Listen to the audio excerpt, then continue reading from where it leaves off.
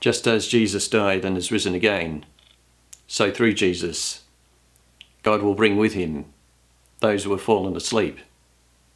And as in Adam all die, so also in Christ will all be brought to life. Let us pray.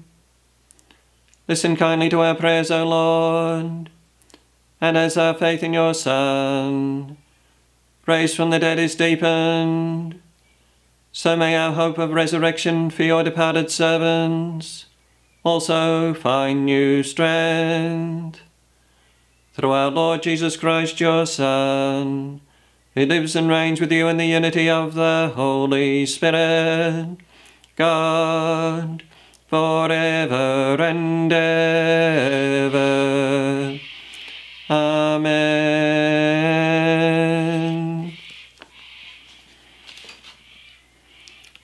From the prophet Isaiah. On this mountain, the Lord of hosts will prepare for all peoples a banquet of rich food. On this mountain, he will remove the mourning veil covering all peoples, and the shroud enwrapping all nations. He will destroy death forever. The Lord will wipe away the tears from every cheek. He will take away his people's shame everywhere on earth, for the Lord has said so.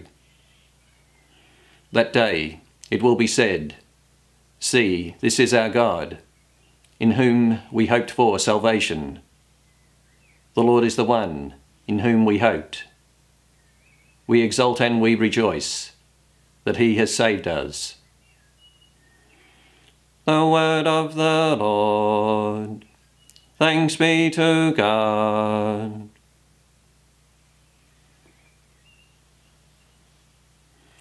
The Lord is my light and my salvation. The Lord is my light and my salvation. The Lord is my light and my help. Whom shall I fear? The Lord is the stronghold of my life. Before whom shall I shrink? The Lord is my light and my salvation. There is one thing I ask of the Lord, for this I long to live in the house of the Lord all the days of my life, to savour the sweetness of the Lord, to behold his temple. The Lord is my light and my salvation. O Lord, hear my voice when I call. Have mercy and answer. It is your face, O Lord, that I seek. Hide not your face. The Lord is my light and my salvation. I am sure I shall see the Lord's goodness in the land of the living. Hope in him, hold firm and take heart. Hope in the Lord. The Lord is my light and my salvation.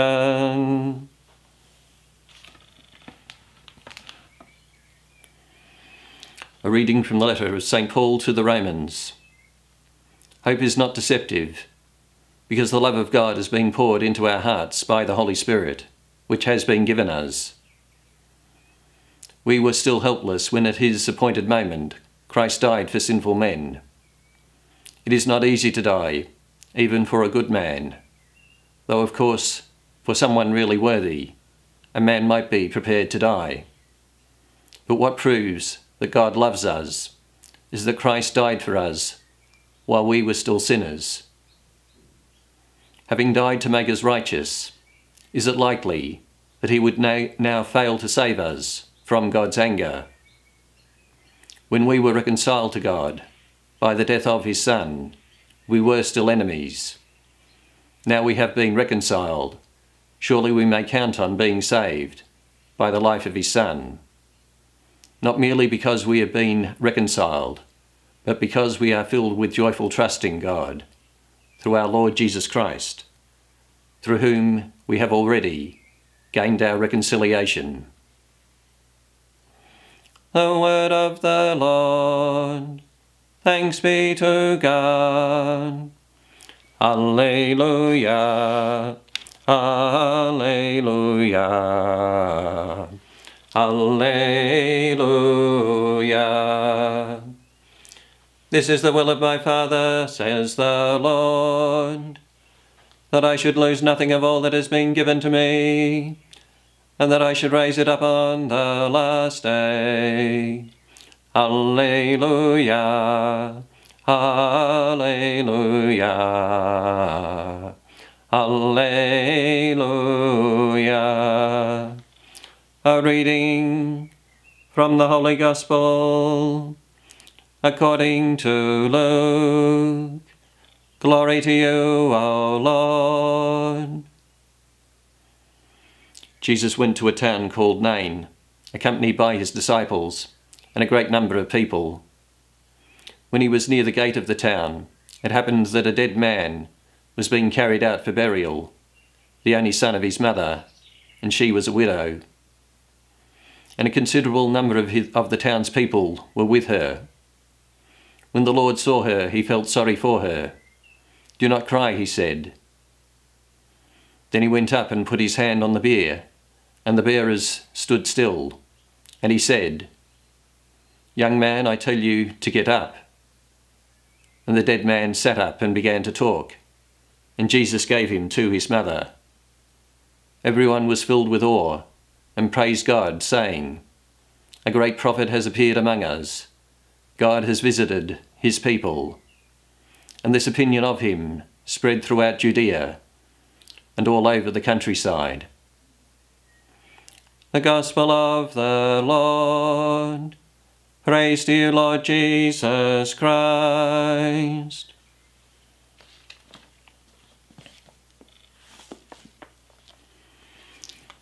Let us in faith call upon God the Almighty Father, who raised Christ his Son from the dead, as we pray for the salvation of the living and the dead. That God may establish the Christian people in faith and unity. Be pleased to hear us. Lord, we ask you, hear our prayer. That he may rescue the entire world from all the evils of war be pleased to hear us. Lord, we ask you, hear our prayer. That he may be pleased to show himself a father to our brothers and sisters who lack work, food, or housing. Be pleased to hear us. Lord, we ask you, hear our prayer that he may grant to the souls of our brothers and sisters, friends and benefactors, the reward of their labours. Be pleased to hear us. Lord, we ask you, hear our prayer. May the prayer of those who cry to you benefit the souls of your servants, O Lord. Free them, we pray, from all their sins, and make them sharers in your redemption. Through Christ our Lord. Amen.